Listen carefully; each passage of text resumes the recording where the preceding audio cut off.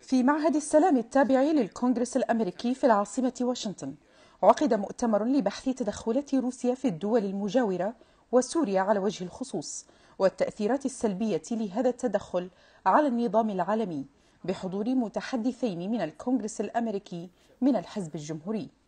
على روسيا أن تستجيب للمطالب الأمريكية والدولية وعدم استمرار العبث بالمناطق الغير مستقرة وزيادة الإشكالية العالقة خاصة في سوريا.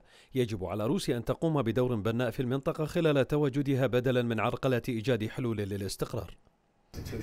سلط المؤتمر الضوء على مواصلة موسكو لأكثر من عقد حملة لتخريب النظام العالمي الليبرالي وتقويض الأعراف العالمية من خلال التدخل في سياسات الدول الأخرى ودعم الأنظمة الدكتاتورية من خلال استخدام نفوذها الدولي.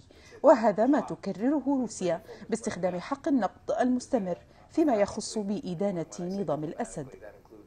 Uh, بما يخص الوضع السوري على روسيا أن تقوم بإيجاد حل لتقويض أي خروقات من نظام الأسد حيث لا يستجيب للمطالب الدولية. الجيش الروسي يتواجد في المنطقة وعليه أن يكون حلا لجلب الاستقرار لها. وفيما تمت مناقشة العلاقات الروسية الأمريكية المستقبلية والتي تتجه نحو مزيد من التصعيد في الآونة الأخيرة.